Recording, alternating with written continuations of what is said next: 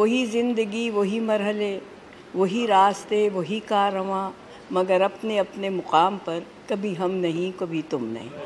तो ये जो है, ये हाउस कभी डिज़ोल्व होने वाला हाउस नहीं है। और मैं समझती हूँ, हम लोग बहुत खुशकस्मत हैं जो किसी भी हाउस के मेंबर बनते हैं। इतना बड़ा मैंडेट ले के आते हैं और हम खुशकस्मत हैं कि पूरे मुल्क से हम लोगों को यहाँ चुना जाता है और यहाँ हम आते हैं। नई नई विचार, नए ख्याल नए नए, नई नस्ल, पुरानी नस्ल, ये हाउस ऑफ़ एल्डर तो है, लेकिन अब चूँकि ये हिंदुस्तान नौजवान है, इसलिए नौजवानों का भी यहाँ आना स्वाभाविक है और वो एक अच्छी साइन है कि ये हाउस ऑफ़ एल्डर कहलाता है और उसी हिसाब से यहाँ की चर्चाएँ होती जो बहुत गौर से लोग सुनते हैं।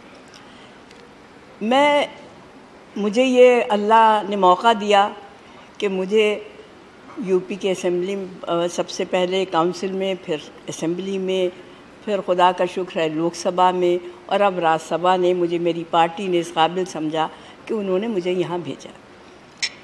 ये हाउस जो है चेयरमैन साहब चेयर जो है, वो रूल बुक से बंधी हुई है।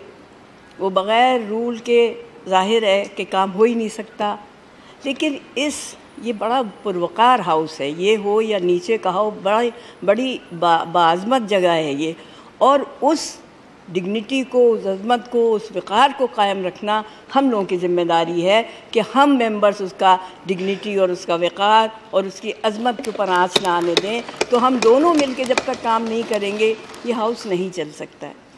दूसरी बात, क्योंकि वक्त की कमी है, मैं थोड़े में अपने बात तो लंबी कहना चाहती थी, लेकिन थोड़ी मैं कहूँगी कि इस देश की जो विचारधारा है और इस देश की जो एक एक नक्शा है पूरे देश का, वो देश का है मिजाज, अमन, शांति और भाईचारे का।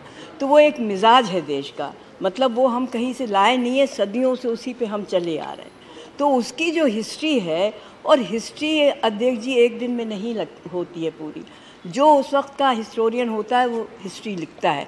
और इस, जिसमें महात्मा गांधी का नाम लीजिए या नेल्सन मंडेला का नाम लीजिए जहाँ तक मुझे ख्याल है उन्होंने अपनी उम्र के 47 इयर्स जेल में गुजारे अपार्थाइट से लड़ने में या आप मार्टिन किंग लूथर का नाम लीजिए या आप यासिर अरफात का नाम लीजिए तो अपना वतन अपनी वज़न अपनी वतन की आज़ादी बहुत बड़ी चीज़ हम ये कहते हैं कि शौर्ण अक्षर सौर्ण अक्षर में हमारी हिस्ट्री लिखी जाएगी। या हम कहते हैं कि उर्दू में सुनहरी औराक होते हैं किसी हिस्ट्री का एक हिस्सा।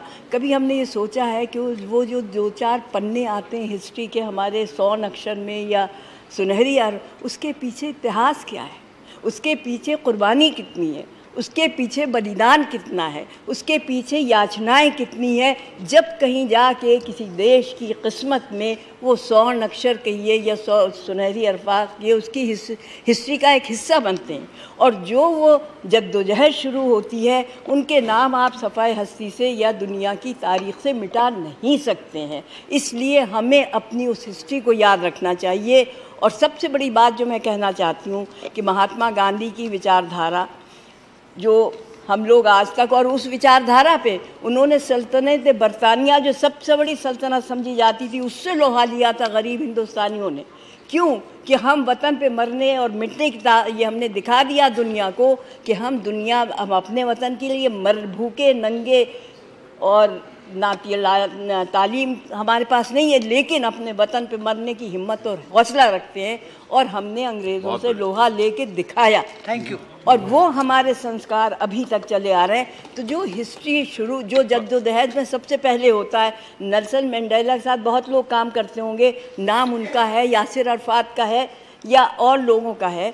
तो महात्मा गांधी भी उसी श्रेणी में नेहरू भी उसी श्रेणी में आते हैं। तो अगर हम अपनी हिस्ट्री को भुला देंगे मैं दो मिनट मैं आपके और लेना चाहती हूँ। बस दो मिनट दो मिनट दो मिनट। तो मैं आपसे ये कह रही हूँ कि ये सारी चीज़ें जो हैं ये हमें भुलाना नहीं चाहिए। नॉन वॉलेंस की बात मैं कह रही थी जो हमारी थी उस नॉन वायलेंस में, मैं एक मिसाल देना चाहती हूँ कि अपने, हम, हमने दुनिया को सबक सिखाया कि नॉन वायलेंस नहीं है।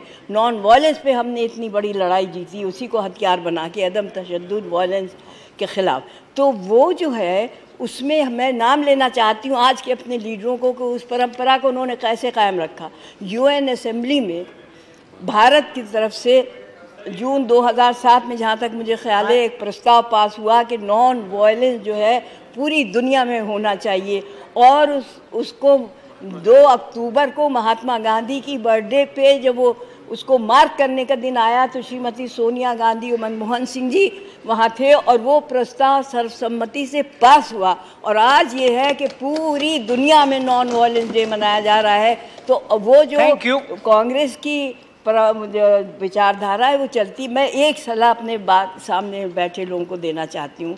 मेरे ख्याल में मैं सबसे ज़्यादा उम्र में बड़ी हूँ आपकी ज़्यादा तजुर्बे भी होंगे लेकिन मैं अपने तजुर्बे से। और ये मत सोचिए कि मैं एक कांग्रेसी की हैसियत से दे रही हूँ। कांग्रेसी तो मैं हूँ लेकिन मैं एक हिंदुस्तानी की हैसियत से आपको एक पर, एक देना चाहती हूँ एक सलाह देना चाहती हूँ। इस देश का मिजाज अमन शांति और भाईचारे का है।